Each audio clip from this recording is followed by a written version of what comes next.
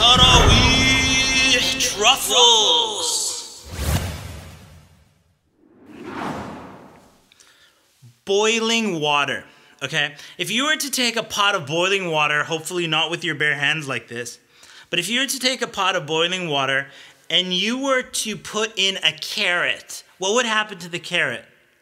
It would soften. Okay, so you think that boiling water softens everything. You go around boiling water, boiling water, while it softens the carrot. But if you were to take that same pot of boiling water and put an egg into it, would it soften the egg? No, you say.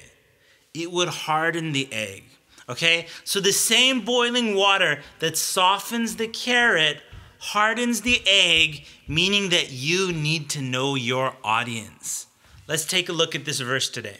فبما رحمة من الله لنت لهم ولو كنت فظا غليظ القلب لانفضوا من حولك فاعف عنهم واستغفر لهم وشاورهم في الأمر. فإذا عزمت فتوكل على الله. إن الله يحب المتوكلين.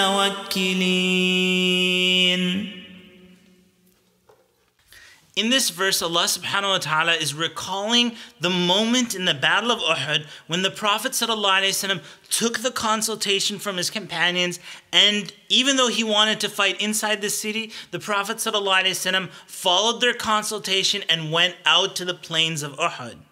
Check this out. If we were with a group of people and we did consultation with people and they chose the wrong thing, but we went with it anyway, and then things didn't turn out, what would we do? We would get angry at them. We would say, I told you so. We would keep doing things like that, but that's not how the Prophet ﷺ reacted.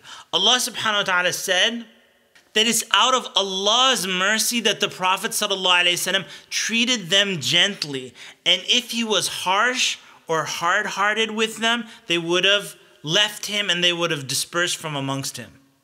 So the lesson that we learn today as followers of Prophet Muhammad sallallahu alaihi wasallam is that us too, when we're teaching the youth or we're speaking to elders or we're speaking to people in this class of society or people in that area of society, our speech can't just be boiling water everywhere we go.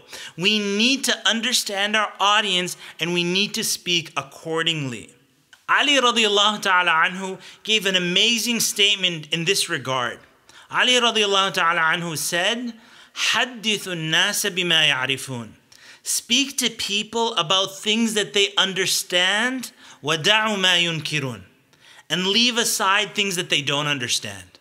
And let me just give you a personal example. If I'm going to give a speech, and you know, they tell me that the audience is going to be adults, and then when I arrive at the location, all of a sudden there's like a Quran school of little children that are brought out of the school and they're like, here's your audience.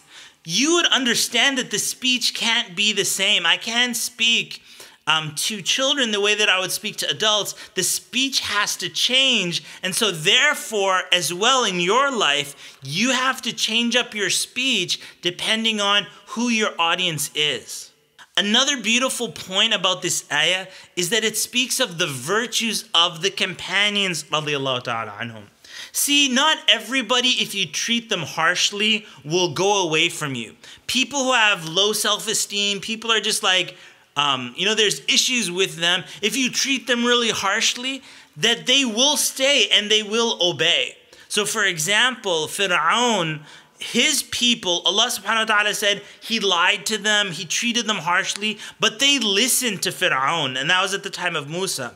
So this verse shows that the companions radiallahu anhum were people of honor, people who if somebody treated them badly, they wouldn't stand for that and they would move away. And so you see the nobility and the power of the companions radiallahu ta'ala even in the same family, right? You have brothers and sisters, or you might have, you know, your siblings, older and younger. If you look at it from the parents' perspective, that the advice that you give to one child in a certain way or the way you speak to them doesn't necessarily work with his brother or with his sister, and so on. So, if that's even in one family, then what about the whole community and the people that you deal with? The bottom line is this be wise in your speech and be merciful with people and forgive them.